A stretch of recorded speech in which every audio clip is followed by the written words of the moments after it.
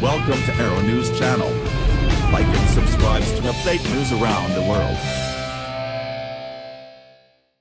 The scandals in Washington, D.C., never seem to cease and are coming out in full view now that we have a non-career politician in office who is a threat to the establishment.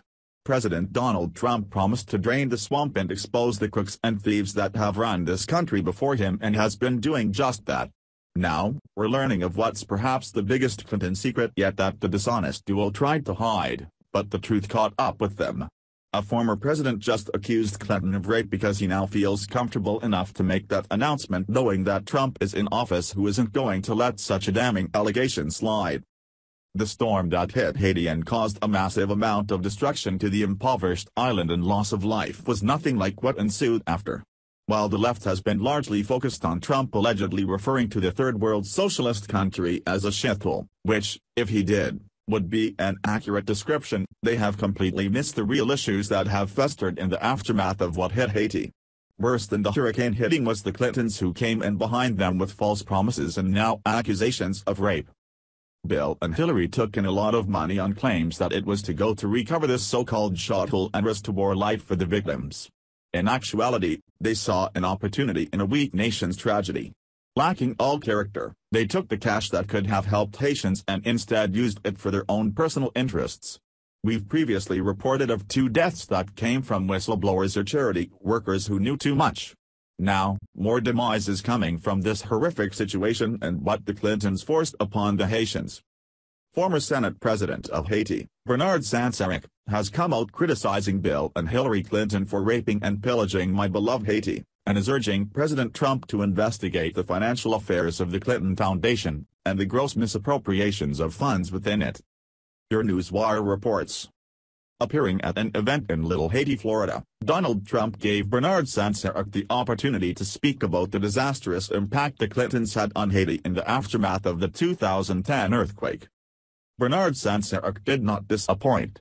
Explaining he has nothing left to lose, he launched into an impassioned speech, detailing how Bill Clinton tried to bribe him, promising he would make him the richest man in Haiti if he used his position as Senate President to assist the Clintons in looting the island of its wealth. Addressing Donald Trump and the Floridian crown, Bernard Sansaricq explained how the Clintons have abused their positions of power and stolen billions of dollars in the process. In February of 1994 I became president of the Senate and I had to deal with the Clinton invasion of Haiti. I was working with American intelligence at that time. Clinton wanted to buy me out. I was hitting very hard on several fronts. To try to appease me he sent Bill Richardson who was a congressman at that time. I spent four hours with Bill Richardson. A week later the American embassy called me to tell me that President Clinton had sent a messenger for me.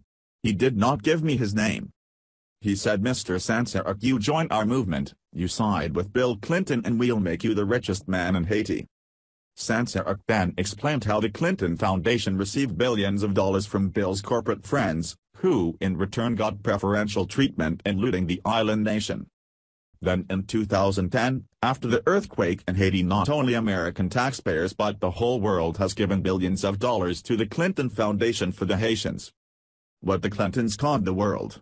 The thieves at the Clinton Foundation pocketed the money, giving a minuscule percentage to Haiti in its hour of desperate need.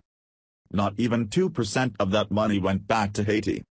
So Mr. Trump, we are asking you, begging you, the Haitian community will side with you if one day, you ask Hillary Clinton publicly to disclose the audit of all of the money they have stolen from Haiti in 2010 after the earthquake. The Clintons leave such a trail of misconduct that's only bound to catch up with them and has recently it has done repeatedly since Trump isn't willing to let all these sudden deaths or any other allegations go. The victims of all kind that continues to accumulate around Clintons has reached unprecedented levels.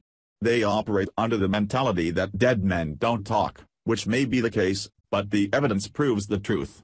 It's just sickening and ironic that the outrage in the country right now is over a word used to describe Haiti and not the blatant theft from the Clintons who could have fixed it with the funds they raised but chose to keep it for themselves.